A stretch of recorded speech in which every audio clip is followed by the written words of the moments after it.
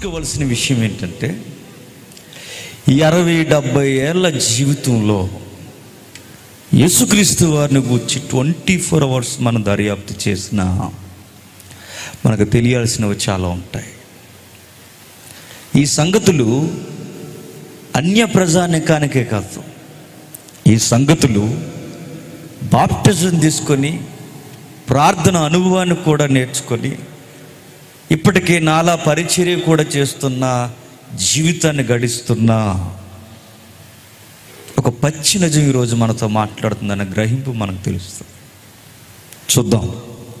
రోమిలికి రాసిన పత్రిక. అపోస్తుడైన పౌలు అందరూ బైబిల్ తీయాలి బైబిల్ ఖచ్చితంగా చూడాలి. ఈరోజు నీతో నాతో దేవుడు మాట్లాడే సంగతులు మనం తేరి చూడాలి. రోమిలికి రాసిన పత్రిక అపోస్తుడైన పౌలు రోమా సంఘానికి రాసిన పత్రిక ఐదవ అధ్యాయం మొదటి వచ్చిన కాబట్టి విశ్వాసము మూలము మనము నీతిమంతులుగా తీర్చబడి మన ప్రభు అయిన యేసుక్రీస్తు ద్వారా దేవునితో సమాధానము కలిగి ఉందము. ఆగుదాం. రోమా పత్రికను అర్థం చేసుకోవడం అంత ఈజీ విషయం కాదు. ఒక రచయిత రోమా పత్రికను గూర్చి కితాబిస్తూ ఏమన్నాడంటే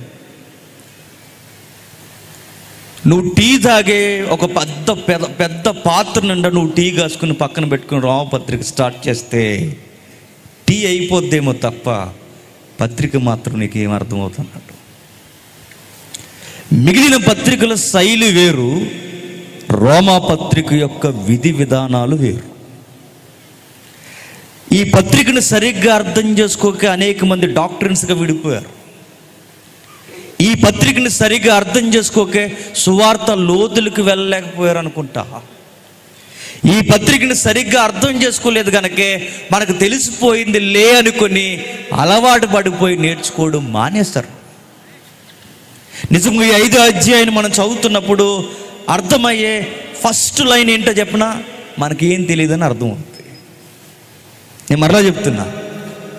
ఇంతకాలం మనం యేసుక్రీస్తుని నమ్ముకుని ఒకవేళ మనం బతికేస్తుంటే ఈ ఐదో అధ్యాయం మనకి ఏం చెప్తుందంటే మీకేం తెలీదు అని చెప్తుంది. అదే నాకు యేసుప్రభు తెలుసు కదంటే నువ్వు అనుకుంటున్నావు. ఆయన సిలువ బలియాగం నాకు తెలుసు కదా అని మనం అనుకుంటాం.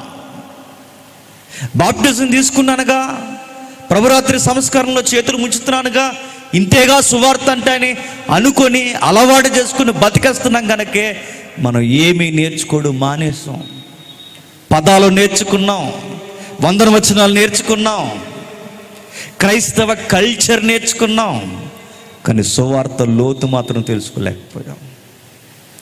సువార్త అంటే డిసెంబర్లో క్రిస్మస్ అని సువార్త అంటే ఇది ఈ సీజన్లో లెంట డేస్ అని సువార్త అంటే అప్పుడప్పుడు కృతజ్ఞత కొడుకులు బహిరంగ సభలని.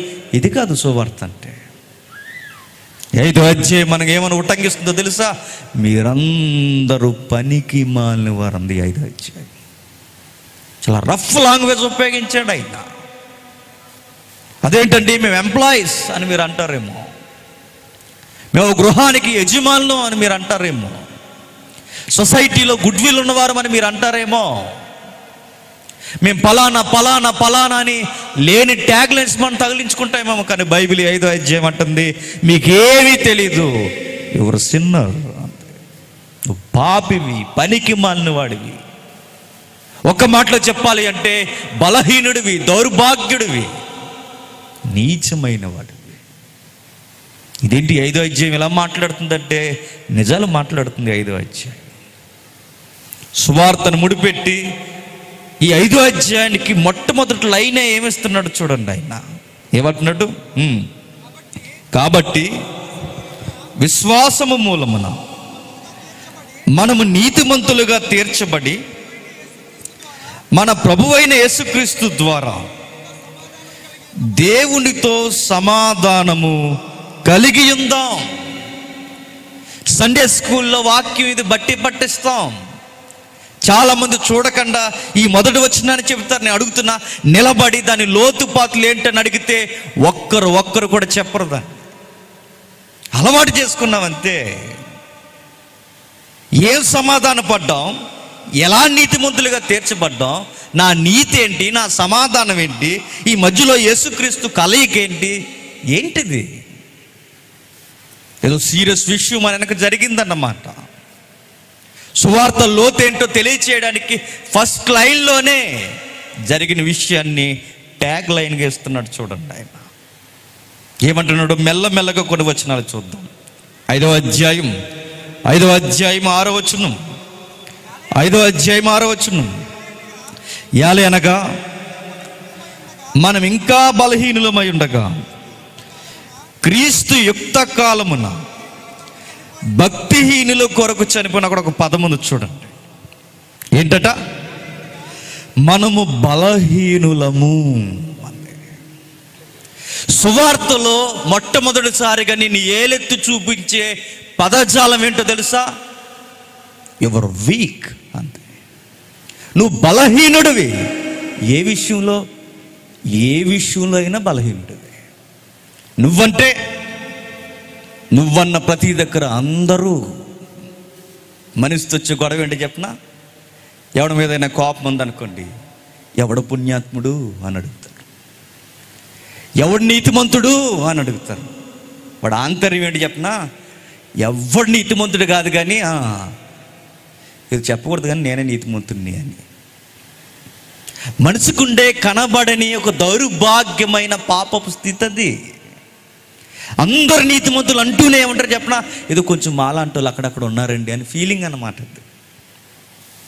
దాన్నే దాన్నే బైబిల్ ఎలుగెత్తి చెబుతుంది.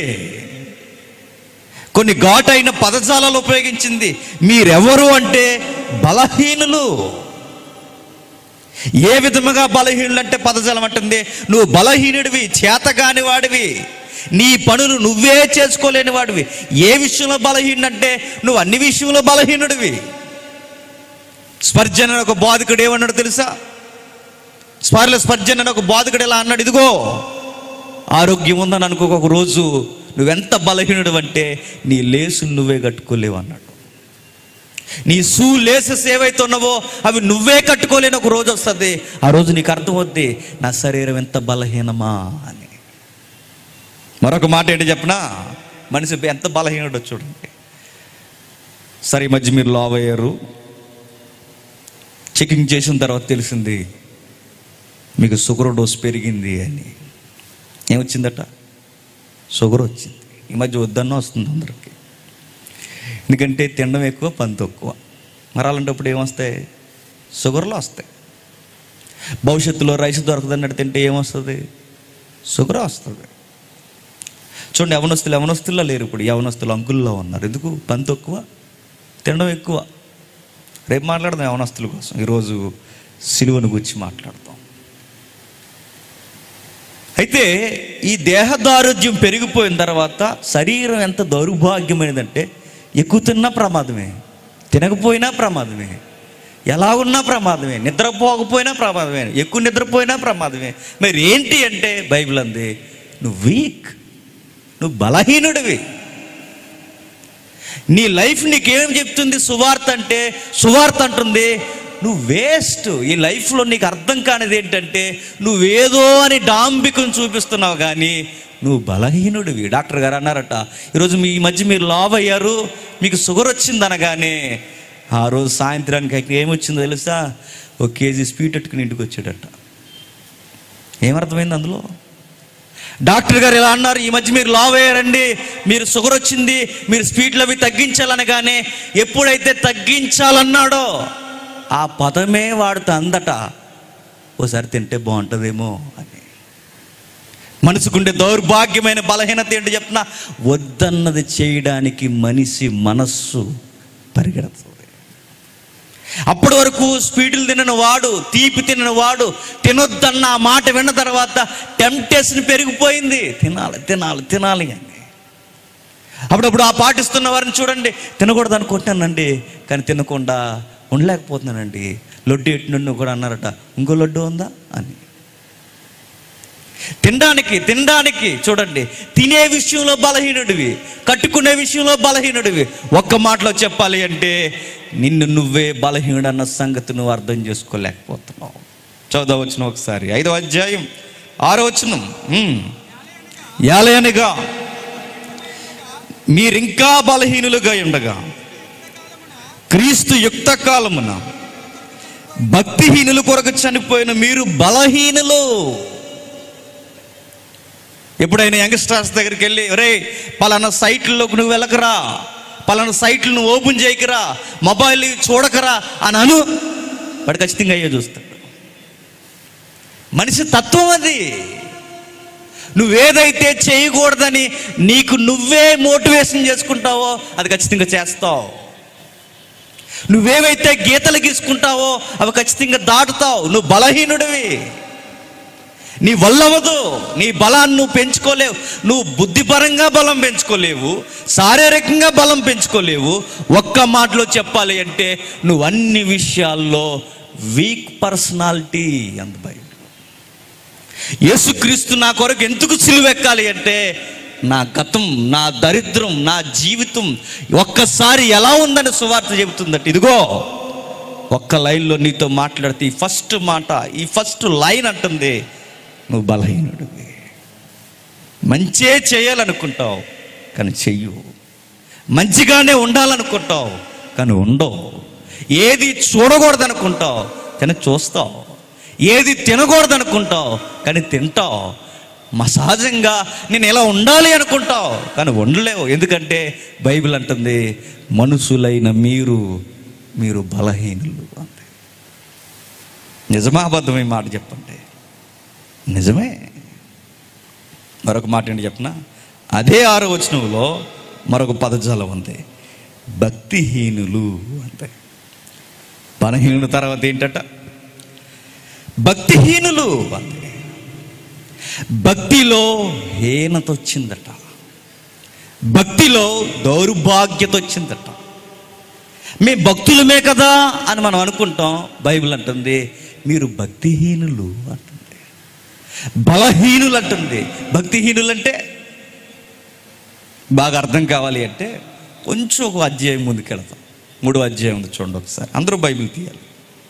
మీకు పెట్ట కథలో పలానా దగ్గర ఎలా జరిగింది మా ఇంట్లో ఎలా జరిగింది నేను ఎలా అనుకుంటే ఎలా అయిపోయింది ఇలాంటి చెప్పను నేను. అవి నాకు రావు. వాక్యం టు వాక్యం అంతే ఎక్క వింటే విన్నట్టు లేకపోతే లేనట్టు. ఓకేనా? మూడవ అధ్యాయం. మూడవ అధ్యాయం. పదవచనం నుండి ఇందును గూర్చి వ్రాయబడినదేమనగా నీతిమంతుడు లేడు ఒక్కడును లేడు గ్రహించువాడు ఎవ్వడును లేరు దేవుని ఎత్తుకు వారు ఎవ్వరును లేరు పదవచనం చెప్తుంది. నీతిమంతుడు లేడు ఒక్కడును లేడు. నేను అడుగుతున్నా ఈ లిస్టులో మనం ఉన్నామని ఎప్పుడైనా ఇక్కడ ఏలు పెట్టుకొని ఈ పదజాలంలో లేదా ఈ గుంపులో నేనున్నానని ఎప్పుడన్నా మన మనసు ఒప్పుకుందా? మనసు ఏమంటుంది చెప్పనా? నువ్వు కాదులేరా అంట. ఏమందట? అందరినీ చూపించి ఎవడున్నాడండి నీతిమంతుడు? ఎవడున్నాడండి మంచోడు? ఎవడో లేడండి? అని అంటూనే వాడు లోపల వాడు సెల్ఫ్ ఏం చెప్తే చెప్పినా? నువ్వు ఉన్నావులే. నువ్వు మరీ అంత దారుణం కాదు. నువ్వు మంచోడివే. నువ్వు అంత దారుణమేం కాదు. నువ్వు మరీ అంత వాడికంత కాదు. నేను చెప్తున్నా ఇది మహాపాపం ఇది. నువ్వెన్ని కొలతలు గీసుకున్నా నువ్వెన్ని అనుకున్నా బైబిల్ అందే. నువ్వెన్ని అనుకున్నా బైబిల్ అందే. మీరందరూ పాపులు. అందంతే నీతిమంతుడు లేడు ఒక్కడును లేడు. చెప్పు. చదువు. గ్రహించువాడు ఒక్కడును లేడు. దేవుడి వెతుకువాడు ఎవరును? లేరు గ్రహించువారు లేరు దేవుని వెతుకువారు లేరు. మరి ఏమైంది? అందరూ త్రోవ తప్పి. ఆ పదం చూడండి ఏకముగా. అది చెప్పండి ఏంటట? ఒప్పుకుందాం. పనికి మాల వారు అయ్యారట. అదేంటండి మేము గ్రహించాము కదంటే గ్రహించువాడు లేడు.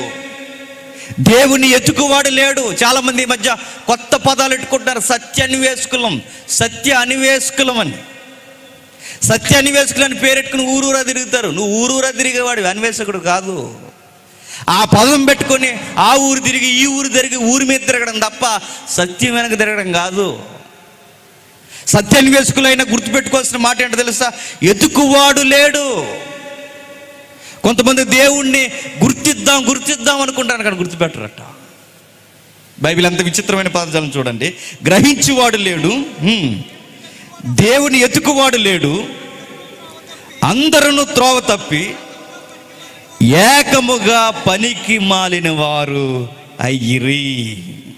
దేవుని ఎతుకువారు లేరంటే నేను అడుగుతున్నా కొంతమందికి దేవుడు ఎప్పుడు గుర్తొస్తాడు చెప్పండి? వారి జీవితంలో ఏదో జరిగితే గుర్తొస్తాడు. అప్పుడే ఎదుగుతారు దేవుణ్ణి. దేవుడు ఎప్పుడు గుర్తొస్తాడంటే ఏదో ఒకటి జరగాలి. అప్పుడు ఎదుగుతారు.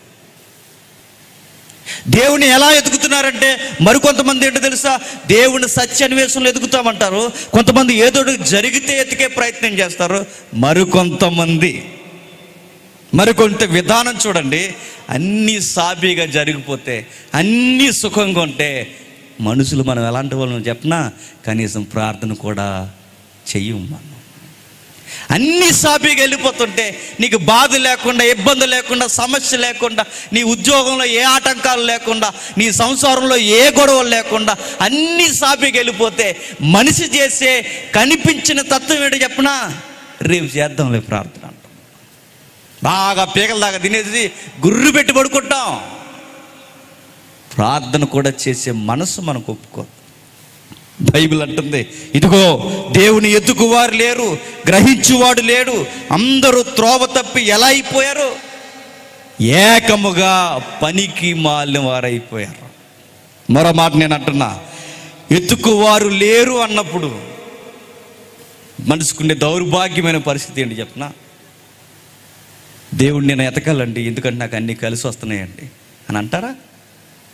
అన్నీ కలిసి వస్తే మొత్తాన్ని కనపడ చర్చిలో. అన్నీ కలిసి వస్తున్నప్పుడు అన్నీ బాగున్నప్పుడు నేను దేవుణ్ణి ఎతకాలన్న మాట నోటండి వస్తుందా? రాదు. బైబిల్ ఇంకా ఉటంకిస్తూ ఏమంటుందో చూడండి.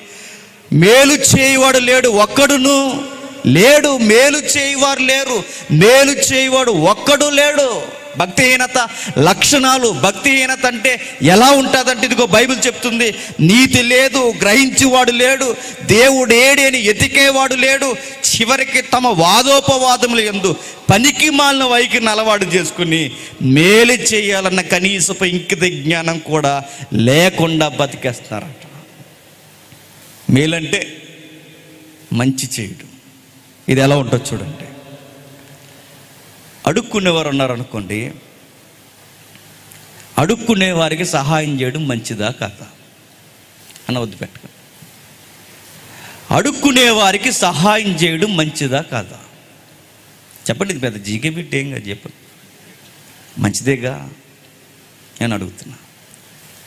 అడుక్కునేవారు అలా పోతున్నప్పుడు వంద రూపాయలు ఇస్తే నీ మనసు నీతో ఏమంటుంది? వంద ఇచ్చేసావా? అంటుంది. ఇటు వెయ్యి రూపాయలు ఇచ్చేసావా? నిజం చెప్తున్నా భక్తిహీనత దేవుని దృష్టిలో ఎంత దరిద్రంగా వ్యవహరిస్తారు చూడండి. వంద ఇచ్చేసావని వంద సార్లు బాధపడిపోతాం.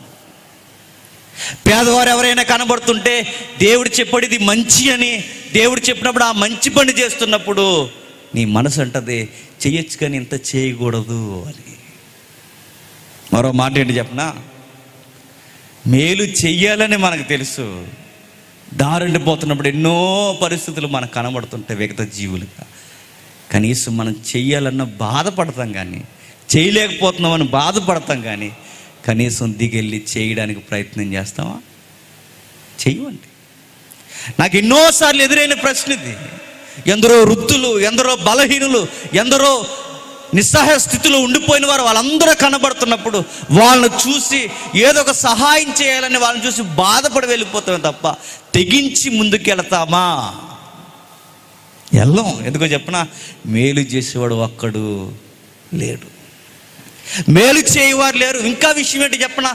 వాళ్ళని చేయడం మంచిదని తెలుసు వాళ్ళని సంరక్షించడం మంచిదని తెలుసు తెలిసి కూడా చేయం మనం ఒకవేళ ఎక్కువ ఏమైనా చేస్తే మనకి ఇంటికాడ గుండెపోటు వచ్చేస్తుంది పెద్దవారికి. వెయ్యి రూపాయలు ఇచ్చేసావా? అని. మరొక విషయం చెప్పనా? బైబిల్ అంటుంది మంచి పనులు చేయండి అని బైబిల్ చెప్తే మంచి పనులు చేస్తే మనకు హార్ట్ అటాక్ వస్తుందట. నిద్ర పట్ట చూడండి కావాలంటే. మంచి పనులు చేసినందుకు ఏమనిపిస్తుందండి? అలా చేసినట్టు ఎలా చేసినట్టు ఎంత ఇచ్చేసినట్టు అలా ఇచ్చేసినట్టు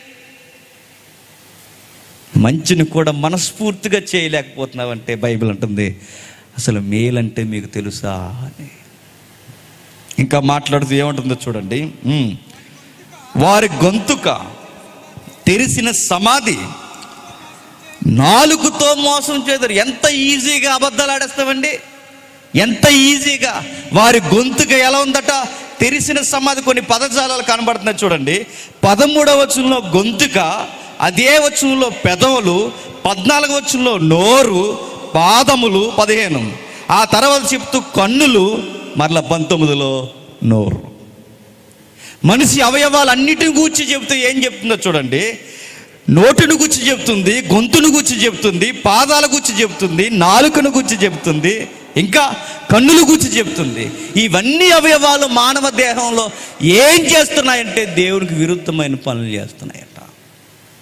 బైబిల్ అంటుంది ఇన్ని అవయవాలు నా శరీరం దేనికి పని చేస్తుందంటే బైబిల్ అంటుంది నువ్వు దేవునికి నచ్చని పనులు చేయడానికి నువ్వు నడినెత్తి మొదలుకొని ఆ, అరికాలు వరకు మనిషివైన నీవు దేవుడి విషయంలో ఎందుకు పనిచేస్తావంటే అనీతి మంత్రుడు అనిపించుకోవడానికి పనిచేస్తాము మీరు అనుకుంటారు మేము ఇప్పటికే పదిహేను ముప్పై సంవత్సరాల నుంచి మేము చర్చికి వెళ్తున్నామండి అని మీరు అన్నా నేను చెబుతున్నా నీ చేతులు నీ మాటను మేము ఇన్ని సంవత్సరాలు మేము బైబిల్ పట్టుకుని తిరుగుతున్నామన్నా మీ పెదవులు అబద్ధము అబద్ధములాడు పెదవులు.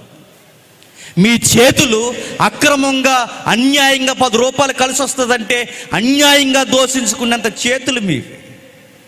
ఏ విధంగా అయినా మీరు చూడండి. మీరు మీరు కాదు మీరైనా నేనైనా బైబిల్ అందరినీ కలిపి మనమందరం మనమందరం దేవుని ఉద్దేశాన్ని నెరవేర్చడానికి పనికి రాని దేహాలతో బతుకుతున్నామట. మాట్లాడుతూ ఇదే మాట మాట్లాడుతూ పదహార వచ్చంలో పదహార వచ్చంలో నాశనమును కష్టమును వారికి మార్గముగా ఉన్నవి శాంతి మార్గము వారు ఎరుగరు వారు కన్నులు ఎదుట దేవుని భయము లేవు. నా అవయవాలన్నీ దేవుని భయం లేకుండా ఎలా ఉన్నాయంటే నా బలహీనతలు నా అవయవాలు దేవుని దృష్టికి ఎలా కనబడుతుందంటే ఒకే రకముగా ఎలా కనబడుతున్నాయి? రోతగా కనబడుతున్నాడు దేవుని దృష్టికి. ఈ లిస్ట్ అంతా చెప్పుకొచ్చి ఐదు అధ్యాయంలో ముడిపెట్టి మాట్లాడుతున్నాడు. ఏమని? మీరు బలహీనులను భక్తిహీనులను ఇంకా పాపులు అన్నాడు. ఏంటట? పాపులు మనం బలహీనులం. నెక్స్ట్ భక్తిహీనులము. నెక్స్ట్ పాపులమై ఉండగా పాపులమై ఉండగా. ఎంత విచిత్రమైన పదజాలం అంటే మనం పాపులమై ఉండగా ఏంటి ఇలాంటి లైన్స్ బైబిల్ చెప్తుందంటే ఇదే లైన్ చెప్తుంది సువార్తలో ఏమిటి సువార్తలో దాగున్నదంటే యేసుక్రీస్తు వారు మీ కొరకు చనిపోయాడన్న ఆ ఒక్క మాట కాదు సువార్తలు ఉన్నది. నీ బలహీనతలేటో నీ దౌర్భాగ్యం ఏంటో నువ్వు ఎలా ఉన్నావో నీ భక్తిహీనత ఏంటో ఇవన్నీ చెబుతుంది సువార్త. అది అంగీకరించాలి మనం. మన హృదయం ఏమన్నా మంచిదనుకుంటున్నారా చెప్పండి? మన మనసు ఏమన్నా మంచిదనుకుంటున్నారా చెప్పండి? మన మనసు వద్దన్నదే చేస్తుంది. మన హృదయం వద్దన్నదే చేస్తుంది. హృదయానికి ఉన్న పేరుడు చెప్పిన బహు ఘోరమైన వ్యాధి కలది. హృదయం బాలేదు కన్నులు బాలేదు చేతులు బాలేదు అరికాళ్ళు బాలేదు నడినెత్తి మొదలుకొని అరికాళ్ళ వరకు ఎవడో బాలేదు. కానీ అందరూ అంటారట ఆడు బాలేదు అని. ఎవరు ఎదుటోడే బాగోడు ఎప్పుడు నువ్వు బాలేదు నేను బాలేదు. సువార్త ముందు మనందరం సమానులం. యేసుక్రీస్తు ముందు మతపరమైన భేదాలు మనిషి యొక్క వంశావళులు వ్యక్తిత్వాలు అధికారాలు ఏవీ లేవు. అందరూ దేవుని దృష్టిలో సువార్త ముందు పాపులు బలహీనులు భక్తిహీనులు. శరీరమంతా దౌర్బల్యంతో నిండిపోయి చివరికి మనస్సు హృదయము కలంకమైపోయిన మానవ జీవితం స్వభావ సిద్ధంగా ఇట్టి దౌర్భాగ్యపు స్థితిలో ఉన్న నాకు సువార్త ఏం చెబుతుందంటే నువ్వు పాపివి అంతే. హృదయం కూడా చెడిపోయిందట. అప్పుడప్పుడు చూడండి చాలామంది మాట్లాడుతుంటారండి ఏమని? వాడికి ఏం తెలీదు వీడికి ఏం తెలీదు వాడికి ఏం తెలియదని ఆ మాట చెప్తుంది నీకేం తెలియదని నీకు అర్థమైందా? కొంతమంది మాటలు చాలా డంబం అహంకారం కండకావరం ఇవన్నీ కనబడుతుంటాయి. కారణం ఏంటి చెప్పినా వాడికి సువార్త ఫస్ట్ లైన్ కూడా తెలియలేదు అని. సువార్తలో మొట్టమొదటి అడుగుగా కనబడుతున్న ఆ లైన్ కూడా తెలియలేదు. ఎందుకో చెప్పినా అది తెలిస్తే అలా మాట్లాడ్డు. ఒక ఆయన పవర్గా మాట్లాడితే ఇలా అంటున్నాడు క్యారెక్టర్లెస్ ఫెలోస్ అన్నాడు. నువ్వేమంటుంది బైబిల్? నువ్వు క్యారెక్టర్లెస్సే నువ్వు పనికి మాలినడువే? నీకేదో గిలుందేమో? ఆ గిలు కూడా బైబిల్ చెప్తుంది. నువ్వు పాపివే.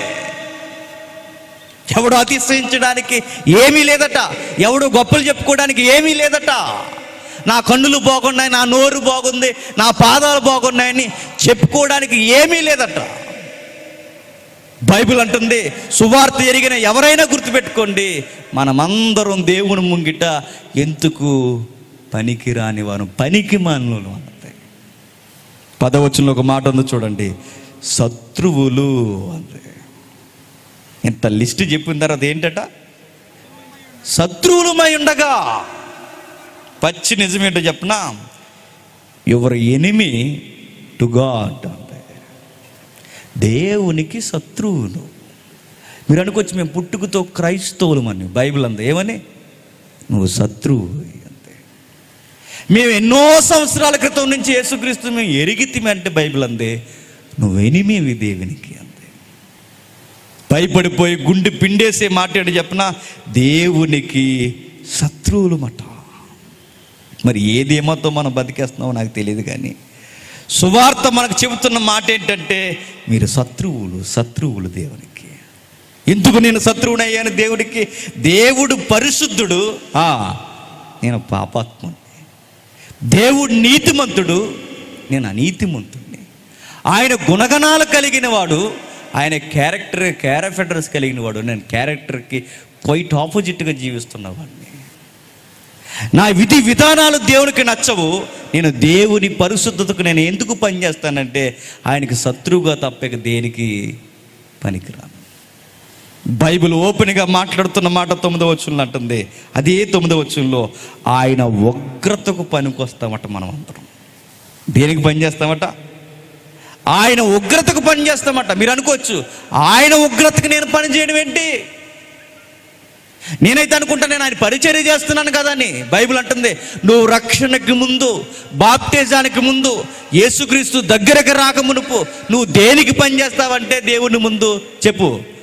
ఆయన ఉగ్రతకు పనిచేస్తావట.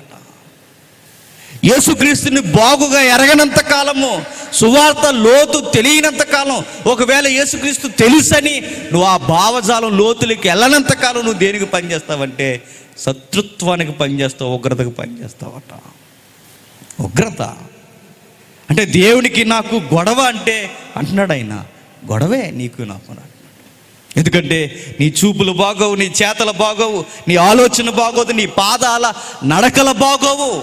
ఎదుటివాడిని చూసే విధానం బాగోదు ఎదుటివారితో గౌరవంగా మాట్లాడడం రాదు నిన్ను నిన్ను గౌరవించుకోవడం రాదు ఏమీ రాదు నీకు.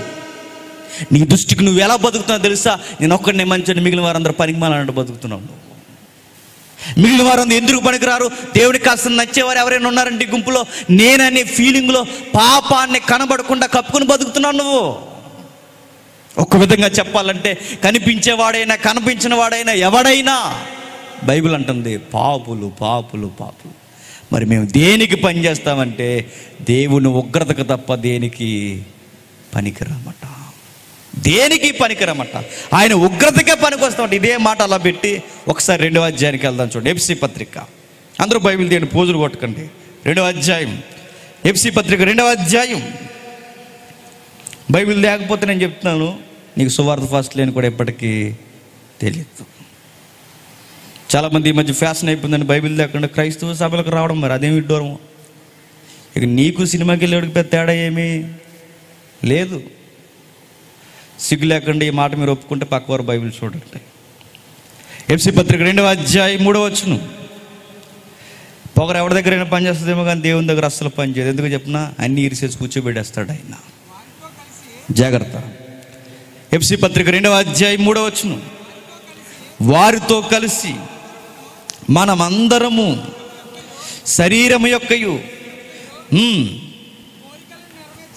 కోరికలను నెరవేర్చుకొనొచ్చు మునుపు ప్రవర్తించచ్చు స్వభావ సిద్ధముగా దైవోగ్రతకు పాత్రులమై ఉంటుంది దైవోగ్రతకు పాత్రులమై ఫుట్ మార్క్ ఇచ్చాడు చూడండి. ఆవిడ రెండు అని ఒక అంకి వేసి ఫుట్ మార్క్ ఇచ్చాడు చూడండి. ఉగ్రత పిల్లలము. ఈ మాట మీకు బాగా అర్థం కావాలంటే రాజుగారి పిల్లలు ఏమవుతారు? రాజుగారి పిల్లలు అవుతారు. ఇది పెద్ద జీకి ఏం కాదు రాజుగారి పిల్లలు తర్వాత రాజ్యం ఎవరిది? రాజుగారి పిల్లలదే బైబిల్ అంటుంది. రాజుగారి పిల్లలు రాజుల పిల్లలు రాజుగారి పిల్లలు రాజులై వారి వారసత్వాన్ని రాజ్యాన్ని తీసుకుంటే మనం ఎవరి పిల్లలు అంట ఇక్కడ. నేను పుట్టి క్రైస్తులు అనకండి. ఇక్కడ ఏం చెప్తుంది? మీరు ఉగ్రత పిల్లలు అంది. నేను అంటున్నాను మనం ఉగ్రత పిల్లలం అయితే మనకు వచ్చే ఆస్తి ఏంటి? ఉగ్రత. అంతే.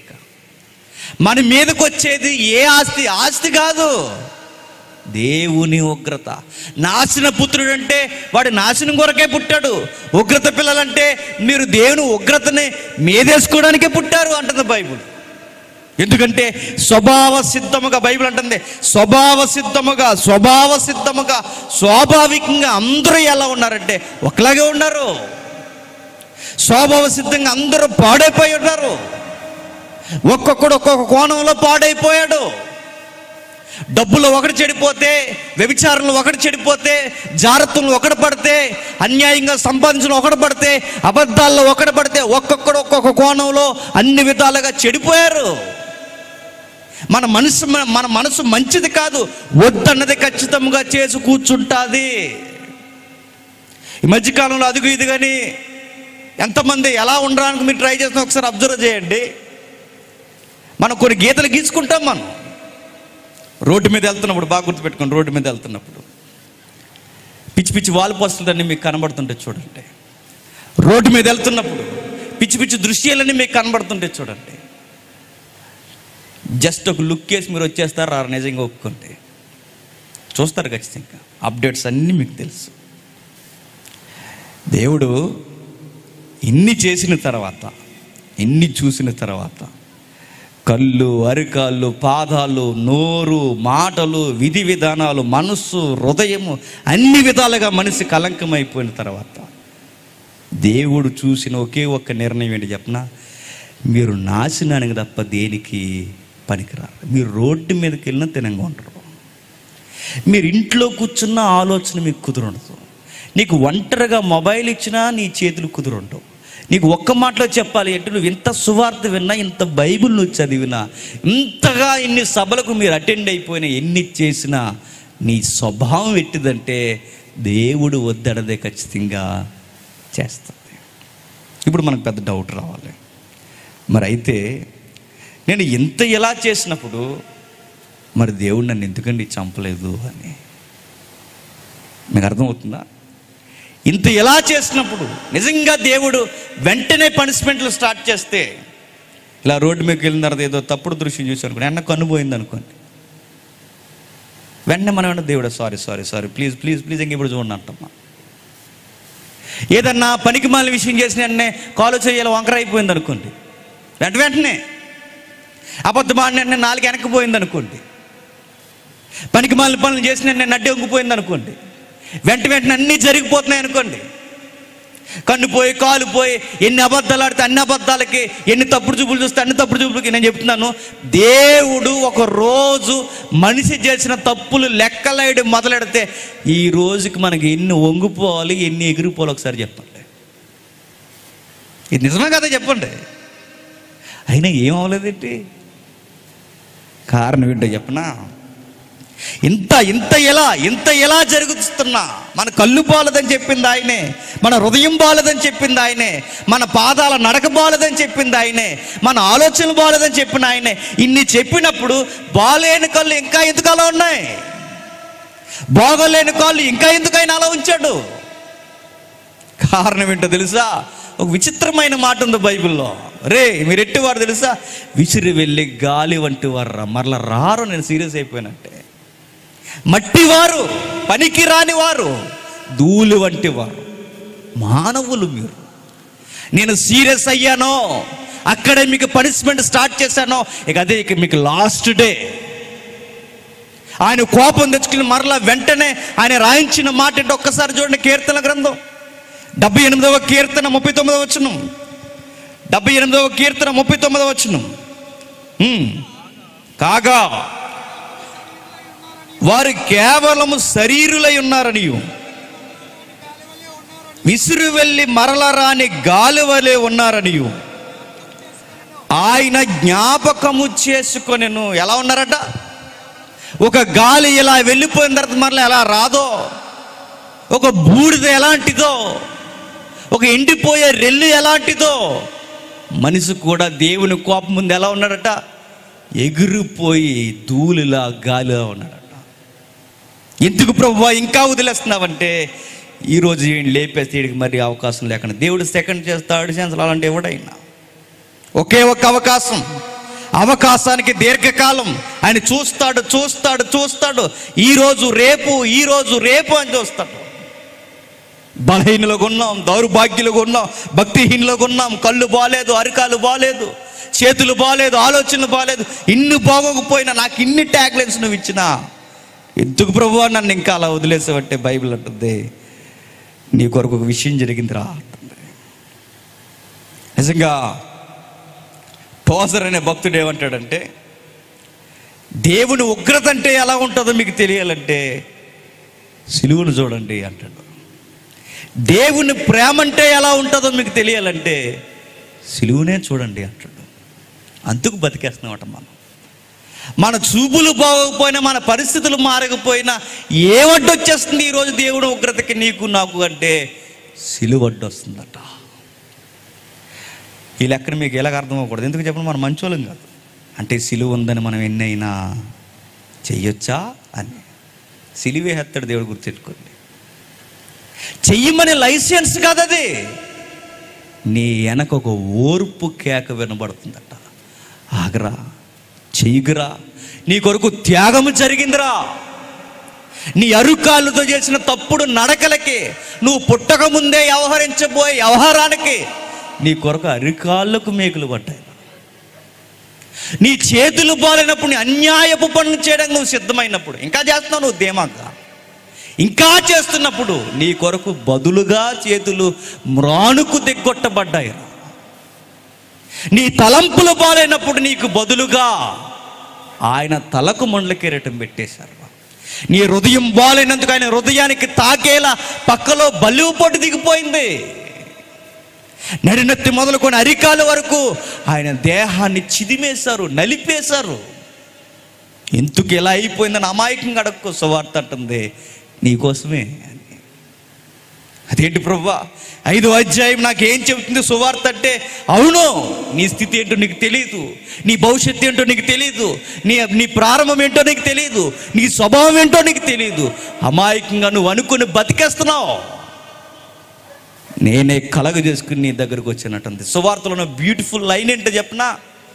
మనకెవరితో అయితే గొడవ సాంగ్ ఉంటే అయితే మనకెవరితో అయితే గొడవ మనకెవరితో అయితే తీరినంత గొడవ ఉందో ఎవరితో అయితే ఉగ్రత ఉందో ఆ ఉగ్రతను కుమ్మరించి దేవుడు వచ్చి మనం రక్షించడానికి రెడీ అయ్యాడట. అదండి బ్యూటీ ఎవరైతే మనకు శత్రువో ఆ శత్రువు వచ్చి మన చేతులు పెట్టుకొని స్వారీ చెప్పరా అని అడిగాడట. కానీ మన మనం ఎలాంటి వరం చెప్పనా? ఖాళీ లేదు ప్రభువా అన్నమాట. నిజంగానే ఒక మాట్లాడినట్టు చూడండి. చిన్న రాజుకి పెద్ద రాజ్యానికి గొడవ వచ్చింది అనుకోండి. బలమున్న రాజ్యానికి బలం లేని రాజ్యానికి గొడవ వచ్చింది అనుకోండి. ఎవరు ఎవరిని బతిమలాడుకోదు చెప్పండి. బలం తక్కువ ఉన్న రాజ్యం వెళ్ళి బలమున్న రాజ్యాన్ని రాజుని పాదాలు పట్టుకొని గొడవ ఎందుకండి? యుద్ధం చేసుకుని మనం సాధించేది ఏముంటుంది? అనేక మంది చచ్చిపోవడం తప్ప. చెదిరిపోవడం తప్ప సమాధాన పడిపోతాం. ప్లీజ్ సార్ మమ్మల్ని కరుణించండి అని చిన్న రాజ్యం వచ్చి పెద్ద రాజ్యాన్ని బతుకులు నడుపుకోవాలి ఎందుకో చెప్పనా? శత్రువు ఎప్పుడు శత్రువే. శత్రువు బతుకుండాలంటే వాడు వచ్చి ఏం చేయాలి? బలం ఉన్నవాడి దగ్గరకు వచ్చి క్షమాపణ అడగాలి. మన దగ్గర సీన్ రివర్స్ జరుగుతుంది. ఎవరు బలహీనులు? మనం బలహీనులు. బలవంతుడు ఎవరు ఆయన బలవంతుడు. ఇప్పుడు ఎవరెవరి దగ్గరకు వచ్చారు? బలవంతుడైన రాజు బలహీనులు మన దగ్గరకు వచ్చి మరి సారీ చెప్పండి రా నాకు అని అడిగితే మన వైఖరి ఎలా ఉందో చెప్పనా? ఖాళీ లేదు ప్రభా అని తిరుగుతున్నాం మనం. నీ చేతుల కొరకు మేకలేయబడినా నీ చేతులు మారే. నీ పాదాలతో చేసిన తప్పుకి ఆయన పాదాలు నలిగిపోయినా నీ తప్పుడు నడకలు మారాయా? నీ అబద్ధపు నోరికి ఆయన అన్యాయంగా గొంతెండిపోతే నీ అబద్ధాల బొంకే ఆ గొంతు మారిందా? నీ ఆలోచన మారిందా? ఆయన ముండ్ల కిరీటం పెట్టుకున్నా మారేవా? మారలేదు మనం. సిలువ త్యాగం ఏమర్థమైంది? సువార్త ఏమర్థమైందంటే నీ వైఖరే చెప్తుంది. నీకు సువార్త ఏమి అర్థమవలేదండి. నువ్వు ఎప్పటికీ జర్జాగా వాణ్ణని వీణ్ణని అలా అని ఎలా అని అందరినీ నష్టపరిచి అందరినీ బాధ పెట్టి చివరికి ఎదుటి వారు ఈ మాట అంటే బాధపడదని తెలుసు కూడా అని. నువ్వు ఇంత ఇలా అని ఎంత బాధ పెట్టి నీకు నువ్వు ఒక ధీమా బతుకుతున్నావంటే నీకు సువార్తలో ఫస్ట్ లైన్ కూడా అర్థం అవ్వలేదు నీకు. ఎందుకో చెప్పిన నువ్వు బాధ పెట్టావు దేవునికి దేవుడు నిన్నేమనలేదు ఆయన ప్రేమించాడు నిన్ను. నీకు ఏం అర్హత ఉందని ఎదుటి అంటున్నావు? నీకేం అర్హత ఉందని ఎదుటివాడిని బాధ పెడుతున్నావు? నీకు ఏ అర్హత ఉందని ఎదుటివాడు మంచోడు కాదంటున్నావు? నీకు ఏ క్వాలిఫికేషన్ ఉందని అందరినీ తక్కువ చేసి మాట్లాడుతున్నావు? ఏ విధముగా ఆయన ముందు మనం పనికి రాకుండా ఉగ్రతకి మనం సరిపోయిన వారమైతే అది నాకు అర్థమైతే నా మాట బాగుంటుంది నా చూపులు బాగుంటాయి నా నోరు బాగుంటుంది నా అడుగులు బాగుంటాయి. నేను బాగున్నప్పుడు నాకు అర్థమవుద్ది నాకు సువార్త సరిగా అర్థమైంది అని. నాకు సువార్త అర్థమవలేదన్న కారణం ఏంటి చెప్పనా? నేను చూస్తేనే తెలుస్తుంది నీకు సువార్త అర్థమవలేదండి. నువ్వెక్కడుంటే అక్కడ గొడవలు నువ్వెక్కడుంటే అక్కడ ఆ ఎక్కడుంటే అక్కడ ఎడబాటులు నువ్వెక్కడుంటే అక్కడ ఇబ్బందులు నువ్వెక్కడుంటే అక్కడ అన్యాయాలు నువ్వెక్కడుంటే అక్కడ ఎదుటి వారికి బాధలు నువ్వెక్కడుంటే నువ్వెవరికే సమాధానంగా పనికిరావు నువ్వు. నువ్వంటే ఎవరిని అంటున్నా అనుకోండి నువ్వైనా నేనైనా అంతే. ఓ కుటుంబం నీ వల్ల బాగుపడిందా? కుటుంబంలో తమ్ముడినే బాధపడతావు అన్నయ్యనే బాధపడతావు. మీ అమ్మను బాధ పెడతావు మీ కోడలను బాధ పెడతావు మీ అత్తను బాధ పెడతావు. క్రైస్తవులమైన మనం ఏమి నేర్చుకున్నామంటే యేసుక్రీస్తుతో ఓర్ముతో మన కొరకు బలైపోతే సువార్త నాకు అర్థమైందని నేను చంకలు గుద్దుకొని బాప్టైజ్ ఇన్ని రోజులైనా ఆ గుణగణాలు ఆ ఓర్పు సహనం ప్రేమ ఇవన్నీ నాకు అర్థమవకపోతే సువార్త తెలిసిందని నువ్వు ఎలా అనుకుంటున్నావు? నీకు సువార్త ఇప్పటివరకు ఏమీ తెలీదు. తెలిస్తే ఈరోజు నువ్వు ఇప్పటివరకు ఇలాగా ఉండమంటుంది బైబిల్ చూడండి ఒక పాట చూద్దాం. ఆ పాట చూడండి.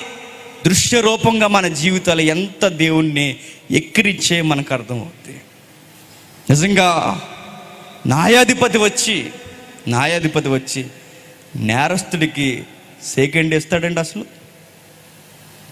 కృతజ్ఞత తెలియజేసేలా సెకండ్ ఇస్తాడే చెప్పండి. కానీ దేవుడు ఏం చేశాడు చెప్పిన? న్యాయాధిపతి అయిన ఆయన వచ్చి మన కొరకు చెప్పండి. ఆయన దేహాన్ని మన కొరకు ఇచ్చేసి ఇదేం విడ్డూరం అంటే సువార్త అంటుంది? అదంతే అని. అదే ప్రేమ. ఒకసారి విందాం. చూద్దాం ఒకసారి.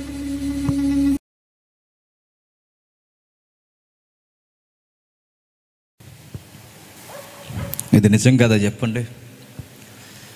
అరవై డెబ్బై ఏళ్ళు మనం బతుకుతున్నాం. దేవుడు మన నుంచి కోరుతున్నది ఏంటో చెప్పనా? ప్లీజ్ ఒక్కసారి నాకు సారీ చెప్పు అంటున్నాడు ఆయన. నా దగ్గర క్షమాపణ కోరు అని అడుగుతున్నాడు ఆయన. మనసు పెట్టి మాట్లాడుకుందాం. ఆ సిలువ వ్యర్థమైపోవాలో చెప్పండి. ఆ కన్నీరు ఆర్తనాదం మన కొరకు మరలా జరగాల చెప్పండి. ఇక జరిగినవి చాలిక మన జీవితాల్లో. మన కళ్ళు బాగాలేదనే కదా ఆయన కంటి రక్తపు చుక్కలు నేల రాలే మన చేతులు బాగాలేదని కదా ఆయన అరిచేతులు ఏ రొట్టెలు పెట్టాయో ఎవరికి స్వస్థత కలగజేశాయో ఆ మనుషుల వల్లనే కదా మేకలేసేసారు అరికాలు మొదలుకొని నడెత్తి వరకు మనం బాగాలేదు కనుక ఆయన అరికాలు మొదలుకొని నడినెత్తి వరకు మన కొరకు నలిగిపోయాడు ఇక చాలు ఇక జరిగిన మన జీవితంలో. ఇప్పటికే మీరు బాప్టిజం తీసుకొని సువార్తని ఇంత లోతుగా మీరు ఎరగకపోతే చాలా అన్యాయం చేస్తున్నారు దేవునికి మరలా. అరవై డెబ్బై ఏళ్ళు దేవుడు మన నుంచి అడుగుతున్న దేవుడిని చెప్పిన? మీకు నాకు పడదు. మీకు నాకు సంధి చేసుకోవడానికి మీరు ఎలాగూ రారు. ఎందుకంటే మీరు ఎగోయిస్టులు నేనే కలగ చేసుకొని నన్ను నేను తగ్గించుకొని నా కుమారుని మధ్యకి పంపి సమాధాన పడదామా అని అడిగాను ఆయన్ని. అయినా మీకు సమాధానం లేకుండా తిరుగుతున్నారు. ఒక విషయం చెప్పిన? దేవుడు గొడవ పెట్టుకుంటే నిలబడేది ఎవడు చెప్పండి? ఇస్తరాకు నలిపేసినట్టు ఈ సృష్టిని నలిపి అవతలు ఎప్పుడో పడేయాలి ఆయన. పరలోక ప్రభుత్వం ఏమంటుంది చెప్పనా వీడు ఇంకా బతుకున్నాడేంటి? అని అడిగితే పరలోకానికి వచ్చే ఆన్సర్ ఏంటి చెప్పనా ఆయన కొరకు బలియాగం జరిగింది అని. ఈమె ఇంకా బతుకుందేంటి? అని పరలోకపు ప్రభుత్వం అడిగితే మన మధ్యకు వచ్చే ఆన్సర్ ఏంటి చెప్పనా ఆయనకు అడ్డుగా సమాధానం వచ్చింది అని. పదవచనం అదే చెప్తున్నాడు చూడండి. ఎలా అనగా మనం శత్రులమై ఉండగా ఆయన కుమారుని మరణము ద్వారా మనము దేవునితో సమాధాన పడుదము ఆయన ఉగ్రత నుండి తప్పించుకోవడానికి మనకు అవకాశం ఏముందంటే ఏమీ లేదు సిలువు తప్ప. ఆయనకి శత్రులమైన మనం మనం తప్పించుకోవడానికి మనకు అడ్డుగా ఏముందంటే సులువే. మరి ఆయనకి నాకు ఇక గొడవలు లేకుండా ఉండాలి అంటే ఆయనకి నాకు సంధి జరిగేది సమాధానపరిచేది ఏముందంటే సువార్త చెబుతుంది సిలువ బలియాగమే. కుమారుడు ద్వారా మరణము ద్వారా సిలువ కార్యక్రమం ద్వారా సమాధానపరచబడిన ఎడల సమాధానపరచబడిన వారమైన ఆయన జీవించుట చేత మరి నిశ్చయముగా రక్షింపబడదుము. నీ కొరకు నలిగిపోయి ఇంత త్యాగం జరిగి అరవై డెబ్బై ఏళ్ళు నేను ఇంకా వదిలేస్తున్నాడంటే కారణం ఏంటి చెప్తున్నా? నేను ఏమన్నా అంటే నువ్వు గాలి లాంటాడు ఎగిరిపోతావు నువ్వు. నిన్ను సున్నితంగా నేను బైబిల్ ఎంత విచిత్రంగా రాయబడిందంటే మనకు అర్హత లేకపోయినా దేవుడు మనల్ని అలా వదిలేయడమే చాలా విచిత్రంగా ఉంటుందండి. జర్జాగా తిరుగుతుంటాం జర్జాగా కూర్చుంటాం జర్జాగా బాధ పెడతాం జర్జాగా ఇబ్బందులు పెడతాం. మనకి ఏ సీకు చింత లేకుండా బతికేస్తాం. అరవై డెబ్బై ఏళ్ళు నువ్వు ఈ సిలువయాగాన్ని పట్టించుకోకుండా నువ్వు సువార్తలో నీ బలహీనతలో నీ దౌర్బాల్యక స్థితి నీ పరిస్థితి నీకు అర్థమైన నువ్వు పట్టించుకోకుండా నువ్వు బతికేస్తే అరవై ఏళ్ళ తర్వాత నువ్వు నరకానికి వెళ్ళిపోతే నీకు బాగా అర్థమైంది ఏంటి చెప్పనా? ఇది నాకు తగినదే అని అర్థం ఇన్ని సంవత్సరాలు నేను ఎదురు చూశాడు నాతో సమాధానం కోరాడు ఆయన. బలవంతుడి దగ్గరికి వెళ్ళి బలహీనులు సమాధానం కోరాలి కానీ బలవంతుడు భూమి మీదకి వచ్చి బలహీనులు సమాధానం కోరడం ఈ సువార్తలు ఇది విచిత్రం అండి ఇది. చాలా విచిత్రం ఇది. సువార్తలో ఉన్న మరింత విచిత్రమైన సంగతి ఏంటి చెప్పిన? కోపం చూపే దేవుడే నన్ను కాపాడడానికి భూమి మీదకి వచ్చాడు. ఏ దేవుడి వలనైతే ప్రమాదం ఉందో ఆ దేవుడే ఆ ప్రమాదానికి అడ్డుగా నిలబడిపోయాడు. ఎవరి వలనైతే నేను బతకలేనో ఆయన నన్ను బతికించడానికే సిలివెక్కేశాడు. ఇది కదా సువార్త. ఇది నాకు అర్థమైతే నేను ఎదుటో నీ తెగించి ఏమనగలను చెప్పండి? ఇది నాకు అర్థమైతే నాకు ఏ అర్హత ఉందని ఎదుటి వారిని బాధ పెట్టగలను చెప్పండి? నాకు ఈ సువార్థమైతే నీ సంగతి చూస్తాను రాని ఎదుటని ఎవరినేమనగలను చెప్పండి ఎందుకు చెప్పిన? ఆయనే నా సంగతి ఏమి చూడకుండా నన్ను క్షమించొదిలేస్తే నేనేవండి అజమాయిషీ చేయడానికి ఎదుటోళ్ళ మీద. సువార్త మనకు బాగా అర్థమైతే మన బతుకులు బాగా అర్థమైతే కాపురాలు బాగుంటాయి స్నేహాలు బాగుంటాయి సంఘాలు బాగుంటాయి మన వ్యక్తిగత జీవితాలు బాగుంటాయి. మనం చేసే పనులే మన వైఖరే మన బాధ పెట్టే విధానమే చెప్తుంది. నీకు ఫస్ట్ లేని కూడా సువార్తలో ఏమీ అర్థం అవ్వలేదు అని. బ్యూటీ ఏంటి చెప్పనా? ఒక పదజాలం ఉంది చూడండి. విచిత్రంగా కొనసాగుతూనే వస్తుంది ఆ పదజాలం. ఆరో వచ్చిన ఆరో వచ్చిన ఒకసారి వెళ్దాం.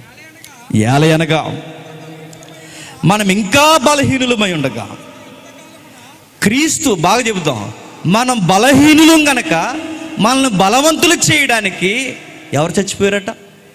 క్రీస్తు చనిపోయాడట. మరో మాట. మనం పాపులమై ఉండగా ఏ వచ్చును ఎనిమిదో వచ్చులో మనం పాపులమై ఉండగా మన కొరకు ఎవరు చనిపోయారట? క్రీస్తు మన కొరకు చనిపోయాడట. మనం శత్రువులమై ఉండగా మన కొరకు ఎవరు చనిపోయారట? యేసుక్రీస్తే చనిపోయాడట. నా బలహీనత కొరకు ఆయన చనిపోయాడు. నా దౌర్బల్యం కొరకు ఆయన చనిపోయాడు. నా పాపస్థితి కొరకు ఆయన చనిపోయాడు. ఒక మాటలో చెప్పాలంటే శత్రువునైన నా కొరకు ఆయనే చనిపోయాడు. నా బలహీనత పక్కనే నాకు సమాధానం ఉంది. నా శత్రుత్వం పక్కనే నాకు సమాధానం ఉంది. నా దేవుని యొక్క విరోధం పక్కనే నాకు సమాధానం ఉంది.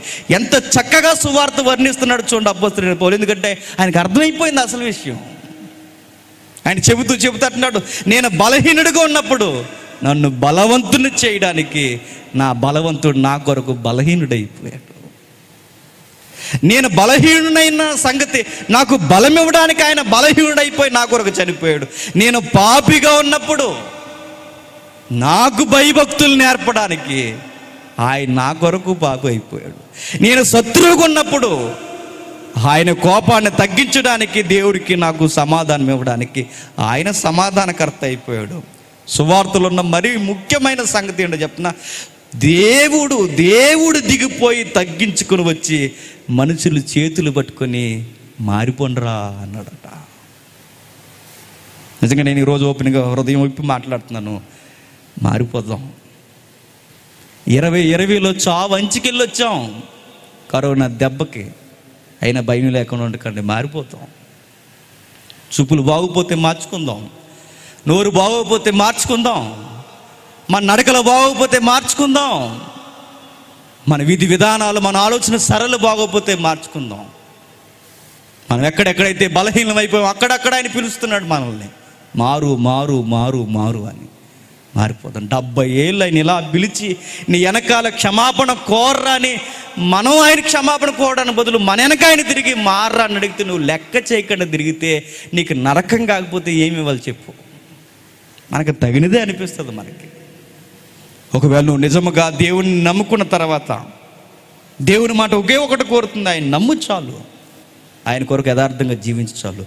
ఇలా జీవించి మనం పరలోకం వెళ్ళిపోతే మనకు ఫస్ట్ ఎదురైపోయే ప్రశ్న ఏంటి చెప్పినా? అసలు నాకు పరలోకం ఎలా వచ్చిందో నాకు అర్థం అవ్వలేదని అర్థమవుద్ది మనకి. ఇంత దౌర్భాగ్యుణ్ణి ఇంత బలహీనుణ్ణి ఇంత నీచుణ్ణి ఇంత దేవునికి శత్రుత్వం కలిగి నాకు నేను పరలోకానికి ఎలా వచ్చానంటే అది పెద్ద ప్రశ్న అయిపోద్ది మనకి. ఆ వెనకే పరలోకం ఇచ్చే సమాధానం. నీ వల్ల నువ్వు ఎప్పుడూ రాలేవు నువ్వు చేయబట్టుకుని మేఘాలు ఎక్కించుకొని ఈరోజు ఈ నిత్యత్వంలోకి నేను తీసుకొచ్చింది ఎవరు చెప్పినా? అదిగో గొర్రె పిల్ల అని చూపిస్తుంది మారదాం చాలిక జరిగిన విషయాలు ఏమైనా ఉంటే గతం గత ఆపేయండిక సువార్త ఈరోజు నీతో నాతో దారుణంగా సిలువ వేయబడిన క్రీస్తు కలవరి గిరి నుండి నీతో నాతో మాట్లాడుతున్నాడు. ఆయన దిగొచ్చాడు కదా మారిపోతాం. గుడ్ న్యూస్ ఏంటో చెప్పనా? దేవుడు నిన్నిక శిక్షించడు. గుడ్ న్యూస్ ఏంటో చెప్పనా? ఆయన ఉగ్రత నీ మీదకి రాదు. సువార్త గుడ్ న్యూస్ ఏంటో చెప్పనా? నువ్వు పాపివి కాదన్నట్టుగా జర్జాగా దేవుడిని చేతులు పట్టుకుని పరలోకాన్ని తీసుకెళ్తాడు. గుడ్ న్యూస్ ఏంటో చెప్పనా? మంచిగా బతికే అని చెప్పింది అతేక ఇది గుడ్ న్యూస్ గుడ్ న్యూస్ అంటే మన క్రిస్మస్ గుర్తొస్తుంది మనకి. గుడ్ న్యూస్ అంటే బెతలేం గుర్తొస్తుంది మనకి. గుడ్ న్యూస్ ఏంటి సువార్తలు అంటే దేవుని ఉగ్రత నీ మీదకి రాదు. ఎందుకు? అది కలవరి గిరి మీద ఉన్న ఆ దేహం మీదకి దిగిపోయింది. మరి ఇప్పుడు నన్ను దేవుడు ఏమంటా అంటే ఇక ఆయన శిక్షను నువ్వు అర్థం చేసుకుని ఆయన త్యాగము నువ్వు అర్థం చేసుకుని ఇక నుంచి చేయబడిన మేలుకు తగినట్టుగా నువ్వు ఆయన స్థుతిస్తూ జీవిస్తే ఇక నీ మీదకి ఇక ఏ ఉగ్రత రాదు. తెగించనే మాటని చెప్పనా ఏ జడ్జి గారు బోన్లో ఉన్న నేరస్తుల దగ్గరకు వచ్చి సారీ చెప్పరా అని అడుగుతాడా? అడుగుతూ జరిగే పని అది చెప్పండి. అది జరిగితే ఈ న్యూస్ మీడియా ఊరుకుంటుందా? పేపర్లన్నీ అవి వస్తాయి. జరగదది. న్యాయాధిపతి ఎప్పుడు నేరస్తు దగ్గరకు వచ్చి మార్రా సారీ చెప్పరని అని అడుగుతాడా? అడగడు. అన్ని న్యాయాల కన్నా న్యాయానికే కేరఫ్ అడ్రస్కున్న ఆయన సైన్యాధిపతి న్యాయాధిపతి. ఆయన మన దగ్గరకు వచ్చి నేమనలేదండి మన చేతులు పట్టుకుని మీ గురించి మీకు ఏమీ తెలియదు వీళ్ళు ఏం చేస్తున్నారో వీళ్ళకి తెలియదు ప్రభువా పరలోకపు న్యాయమా? వీని క్షమించు. అన్నదంతే ఆ క్షమ లోకువు చేసుకోకండి దయచేసి. ఆ క్షమాపణ ఏలాకూలంగా తీసుకోకండి దయచేసి. బాప్టిజం తీసుకున్న నీలో మార్పు రాకపోతే నీకు సువార్త ఏమీ తెలియదు నీకు.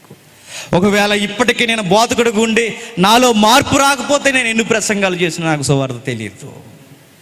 నేను ఎంత పరిచర్య చేసినా నాకు సిలువు సరిగ్గా తెలియకపోతే నాకు సువార్త తెలియదు.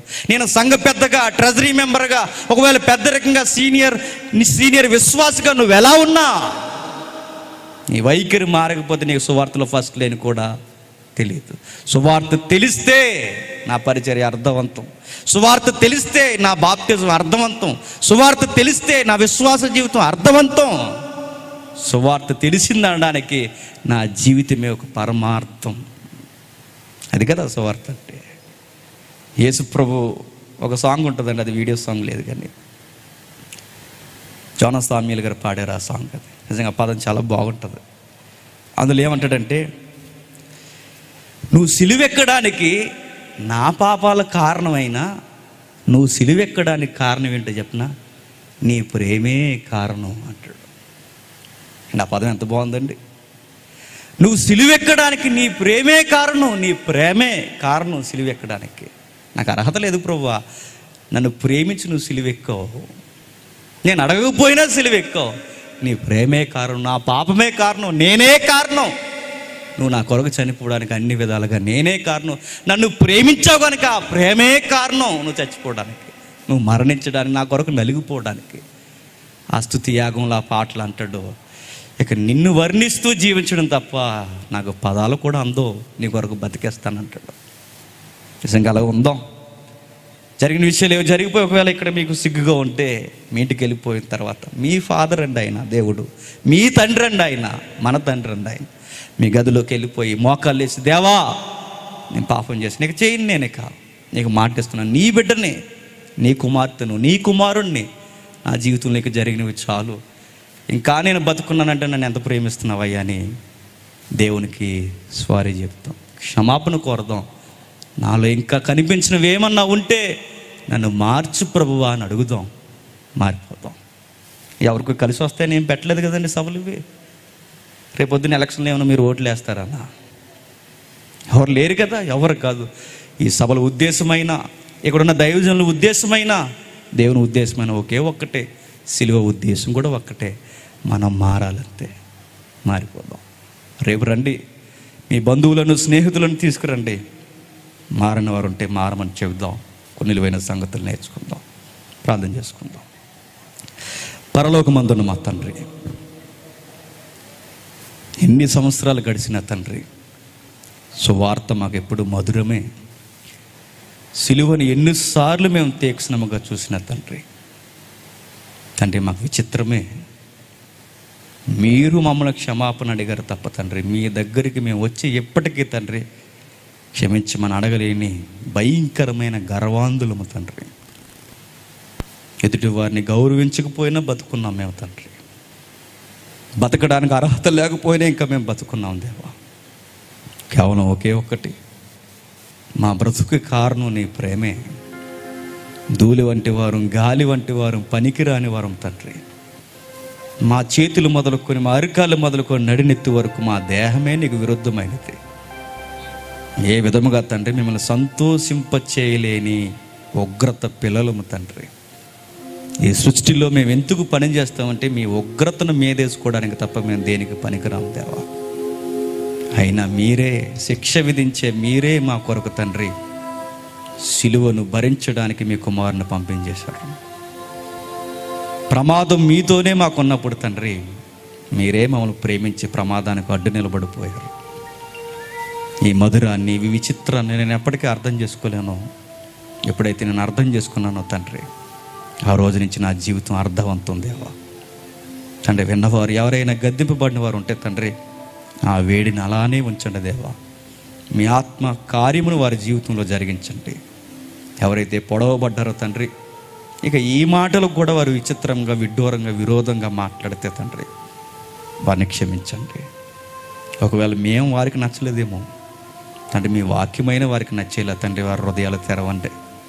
వారిని మార్చండి.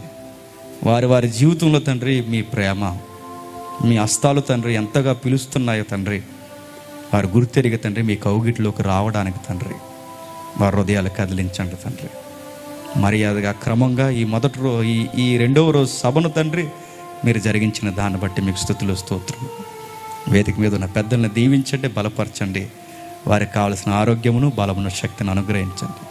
వారి సంఘాలు అభివృద్ధి పరచండి. మరింత అర్థవంతంగా తండ్రి వారి సంఘాలను తీర్చిదిద్ది. పర సంబంధమైన జ్ఞానం అందుకునే శక్తిని వారికి అనుగ్రహిస్తారని కోరుతూ. వచ్చిన విశ్వాసం కూడా వారి వారి కుటుంబాల్లో తండ్రి నీ క్రైస్తవ సాక్ష్యమును కాపాడుకొని. వారి జీవితంలో ఉన్న కష్టాలు కన్నీళ్ళు తండ్రి విశ్వాసము ద్వారా ప్రతి విషయాన్ని ఎదుర్కొనే శక్తిని మీరు అనుగ్రహిస్తారని కోరుతూ. రేపటి దినాన్ని కూడా తండ్రి మాకు అనుకూలమైన సమయమును జ్ఞానమును అర్థవంతమైన తండ్రి హృదయాన్ని మాకు అనుగ్రహిస్తారని అర్థిస్తూ. క్రీస్తు నామని ప్రార్థన సమర్పిస్తున్నాము తండ్రి. ఆమె సరే